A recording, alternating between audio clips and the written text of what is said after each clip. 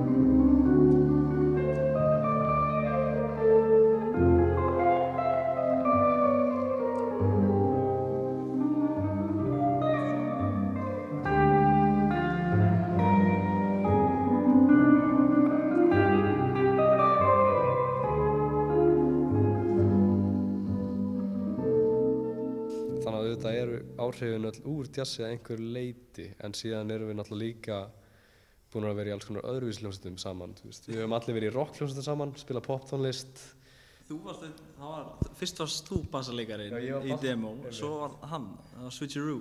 Já, en þeir voru líka saman í Karma Brigade Já. sem var rockljómsveit síðan höfum við spilað saman á einhverjum líklegast einhverjum skóla við byrjum í MIT sem voru Já, já. og síðan hlusta allir okkar á rosa svona fjölbreytta tónlist sem að einkennir svolítið af kannski soundinu sem er hér, þú veist, að við hugsaum um Sigurós til dæmis, að það er eitthvað sem hefur haft rosa mikil áhrif á okkur alla. Þannig að þetta er svona bara svona samblanda af bara uh, svona góðri tónlist. á uh, svona jazz basisi svolítið. Já, en það er saxofón, þannig er jazz. Já, þetta er nákvæmlega. Og kontrabassi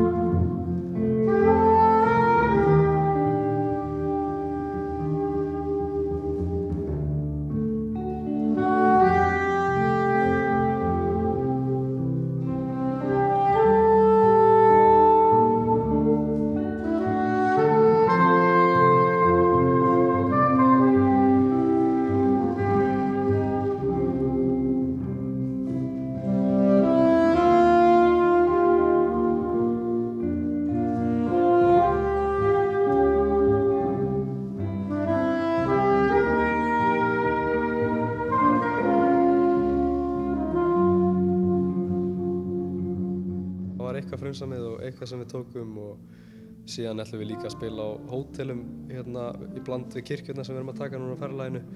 Þá ætlum við bara að spila einhver skemmtilegt jazzlög sem við kunnum og við erum basically bara að spila skemmtilega tónlist og hérna og vona að fólk sopni ekki.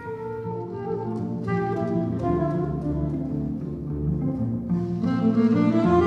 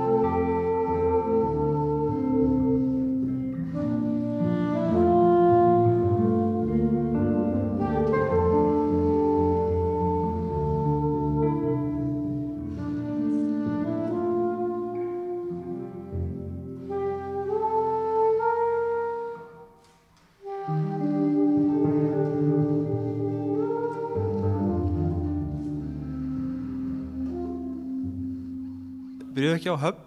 Jú. Jú. Svo tökum við klaustrið, Já, við tökum skrif aftur á bak. svo er Seyðisfjörður og svo er Akureyri. Og svo er kannski... Kanski Söðurkrókur og Ísafjörður. Já, við erum smá eftir á, eða við erum svolítið last minute þetta skipulegja, en við erum svona að vonast til að komast líka á, á Krókin og á Íbísafjörð og hérna, þá held ég að sé upptalið.